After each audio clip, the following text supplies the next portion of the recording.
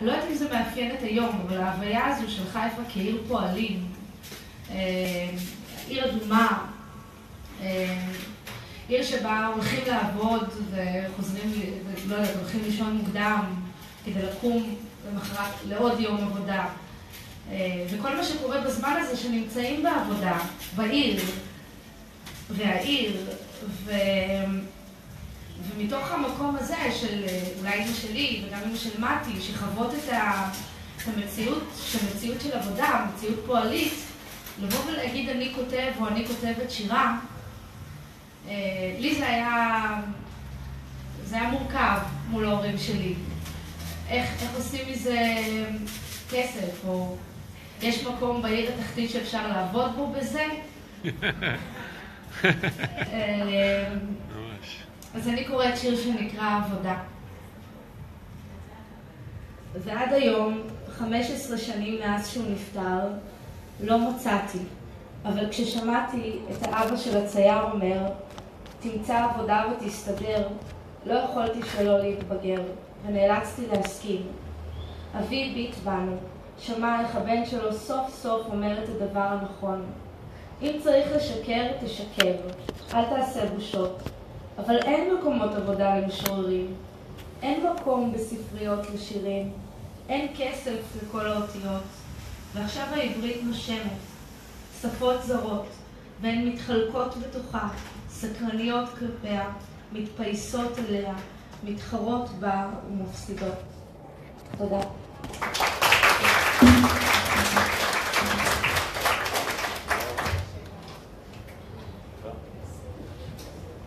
תודה רבה.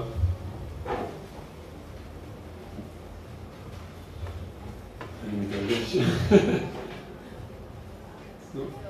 כן, איזה עולם. ואת זה גילינו שהיא באה לשם, בכלל עוד דברים שרואים משם לא רואים מכאן. אני שמח להזמין את ג'וני ספקטור, משורר ופעיל, וכשנסעתי ל... בת זוגתי עשתה איזו עבודת רדיו באודסה, כשהייתי צריך להתייעץ עם מישהו על מה קורה באודסה, פניתי לג'וני, ואתם תבינו למה.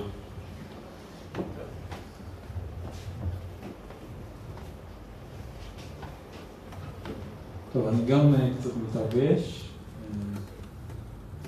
האמת שהסיפור שלי ושל מתי גם מתחיל הרבה שנים אחורה, והשיר שאני הולך להקריא הוא קצת הזכיר לי את זה ברובד האסוציאטיבי של זה. מי שמכיר אותי קצת יותר לעומק יודע, מתי אמר שאני פעיל חברתי, אבל למען האמת בערבון מוגבל. פתחת בעם על זה. מה? בעם, בערבון מוגבל. כן, כי אני את רוב החיים שלי הבוגרים הולך על... מנסה ללכת על החבל הדק מאוד בין פעילות חברתית, כתיבה, ועבודה שהיא ההופכי והנגדי של זה. ובוא נגיד, המופעים האלה הם איכשהו נותנים לי את המשמעות להתגבר על כל מה שאני עושה בצד האחר של החיים שלי, בספרה אחרא של החיים. ופשוט, למה אני מתרגש עכשיו? כי זה פשוט גילה לי געגועים וכל החניכה שלי, בוא נגיד, לעולם האקטיביסטי ועולם השירה שלילך קשורה, ועוד הרבה חברים שנמצאים פה שדיברו קשורים לזה, וגם מתי, אני זוכר שאיך שפגשתי את מתי בחבורת גרילה תרבות, והיו כל מיני פעילויות אז, לא זוכר, זה היה לפני עשר שנים, שבע שנים, והלכנו להקריא שירה בכפר דהמש בלוד, ואני באותו הזמן עבדתי בכלל בבית סוהר עם אסירים ביטחוניים, משהו הזוי לחלוטין בעולם הכאוטי שלי, וזה העלה לי כל מיני געגועים לאותה תקופה, ובעצם גם ניתן לי להבין גם דרך השיר הזה, שכן אפשר לחיות עם סתירות, אבל יש דברים שהם לפחות בטוחים, מצליחים להתגבר על הסתירות האלה ונותנים את המשמעות, וזה כן עולם הכתיבה, עולם השירה ועולם הפעילות החברתית המוגבלת שאני משתדל לעשות, והשיר שאני הולך להקריא נקרא אל המסע אל אוצר המילים האבודות של אבי, הוא נכתב במוסקבה, אז זה גם מחבר אותי לנושא הזה שאני בא משם, לא ממוסקבה, מאוקראינה יותר, וכל ה... כל הקטע של שפת האם שהיא לא שלי ואני צריך אה, לנסות להבין את עצמי בשפה אחרת.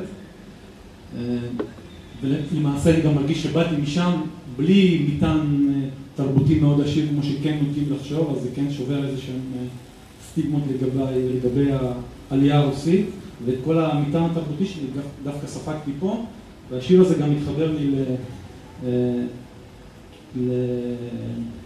נו, יהודה עמיחי, שמטבעות החסד שהוריש לנו אימא, וכל מיני פסוקים מהמדרש ככה, שגם אה, על גבילים נשרפים ואותיות פורחות, פשוט נותן כל מיני אסוציאציות.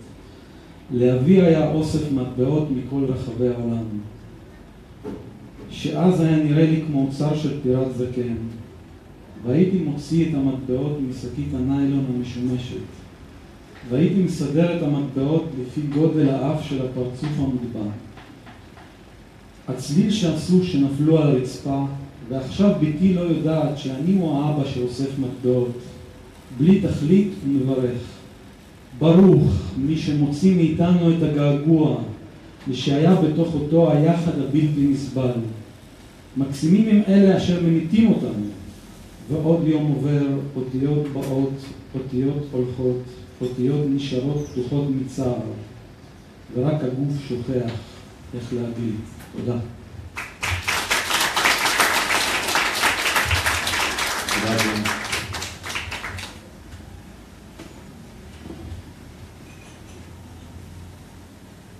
אני מתכבד להזמין את אה, רביד רז'יד רובנר, רובנר או רובנר?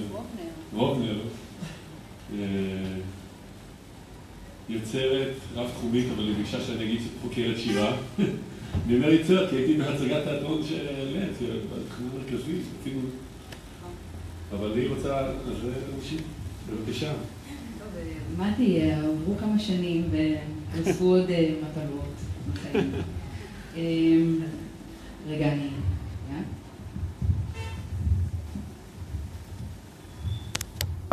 אוקיי, אז אה, הספקתי להתחיל לחקור אה, שירה, וזה הכובע שלי. היום. בכובע של חוקרת שירה? בתור חוקרת, היום אני פה בתור חוקרת שירה, אז אה, אני חוקרת, הופה, כן? לא? בואו נראה אם זה... אוקיי, אז, אז בעצם אה, סוג השירה שאני חוקרת מאוד מאוד ממוקד. אני חוקרת שירת חפצים. התחלתי לחקור שירת חפצים בישראל, הרחבתי את זה לשירת חפצים העולמית. ממש לאחרונה קראתי מאמר, הוא צריך להיות מפורסם עוד מעט באיזה מגזין.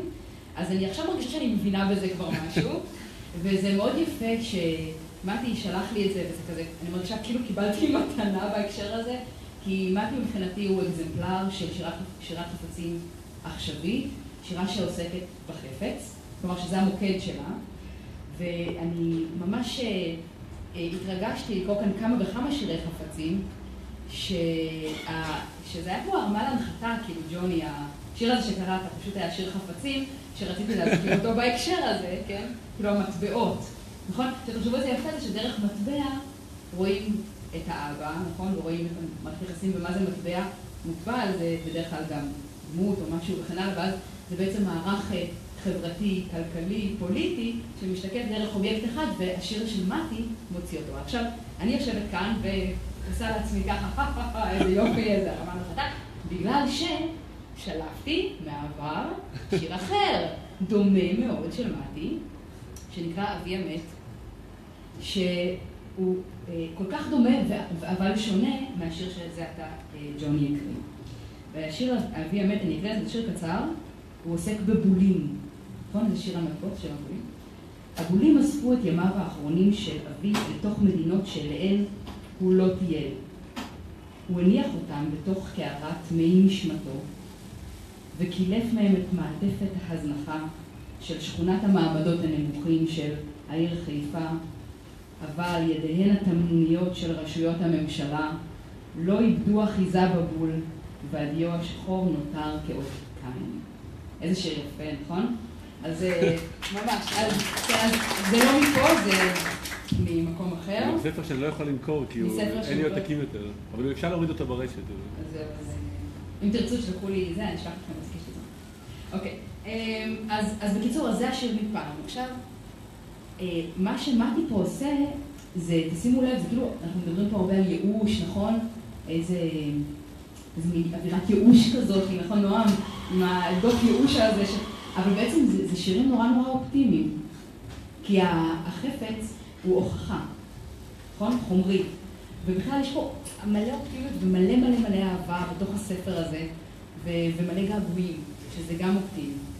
אז, אה, אז אני רוצה להקריא עכשיו שיר שבדיוק תופר את כל הקטע הזה, אוקיי? זה שיר חפצים על דרכון, על מה זה דרכון, שמחבר בין אבא שלך, נכון? כלומר בין הפוליטי לבין המשפחתי, לייאוש ולאיך אנחנו יוצאים ממנו דרך, האובייקט. אוקיי. אה, אנחנו, אוקיי, ועוד הקדמונת שנמצאת פה, זה עמוד 35, למי שרוצה רוצה לעקוב. אה, יש לנו כאן שתי הקדמות קטנות, אחד מהם שהשיר, שנקרא אפילו דרכונים נשברים, מוקדש לאילן קורדי, שכולנו זוכרים, הילד שנמצא, אה, הילד בן השלוש שנמצא מת על החוף בטורקיה. זוכרים את התמונה המזעזעת הזאת, אי אפשר לשכוח. והדבר השני זה ציטוט אה, מדליה רביקוביץ', מספר של דליה רביקוביץ', אפילו סלעים נשברים, והציטוט הוא לכך, אפילו סלעים נשברים, אני אומרת לך, ולא מחמת זקנה.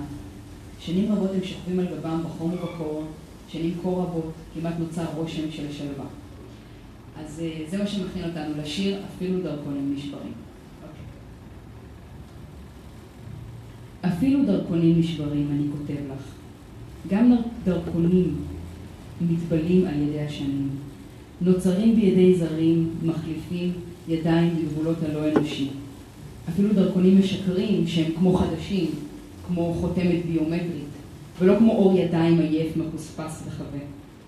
אפילו דרכונים הופכים לפליטים כשכוכבי החלומות לא מספיקים להגר מבעד לחשכת הטרמינל. אפילו הדרכונים נכלאים כשהחומה הופכת לחתונה, כשהתקווה נשארת רווקה.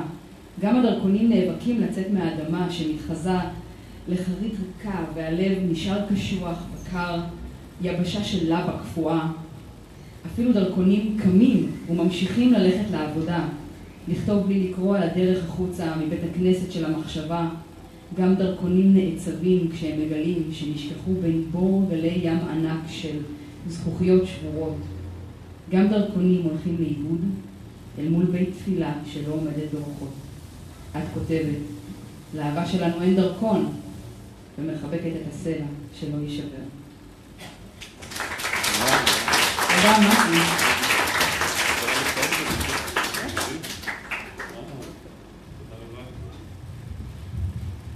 כמה אהבה. אה, אז אה, לכתוב את האירוע, אומרים תמיד ערב, אבל זה לא ערב, שזה צהריים, שישי, יש לכם עוד יום שלם. בכל זאת באתם, ובאתם להקשיב לשירה, שזה מדהים, זה שומעים מפריע אותי. ואני שמח להזמין את ברק, אה, אתם כבר מכירים אותו. תראו איזה כוח יש לשירה, הוא פתח את האירוע ועכשיו הוא כבר רוצה גם להקריא, אז הוא מקריא. זה קרה, זה לא פעם שהיינו עושים את ההפגנות שירה והיינו באים לפועלים ומפגינים איתם סולידריות שמתאגדים ואז פתאום איזה פועל כותב שיר באירוע מרוב התרגשות ורוצה להקריא היה מקריא וגם הוא פועל, הוא פועל פה, אכלתם, שתיתם, מישהו פעל. תודה רבה.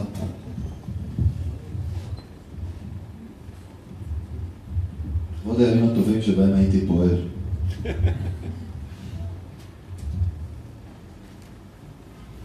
ואני מתחרט שפספסתי את הדרך לליבו.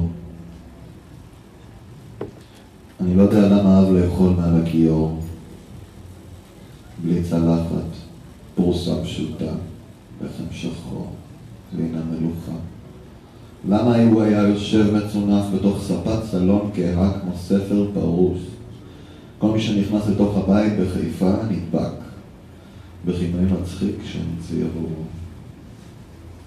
אני בטוח שהיה פעם אדם חופשי, למרות שעבד בחנות בגדים כל חייו. ואם לומר את האמת, אין לי דרך לדעת, ואם הוא היה מאושר ממני או פחות, אבל לפחות הוא הספיק לקרוא שיר. אחד שלי ולחזור אל הבית שמח. אולי בהשראתי החל לכתוב. כיצד סבי עלה לישראל מפרס ברכוש גדול וגוסם מו? למה לא שמרתי את הדף הזה? ומה נותר ממני? חרטה עמוקה.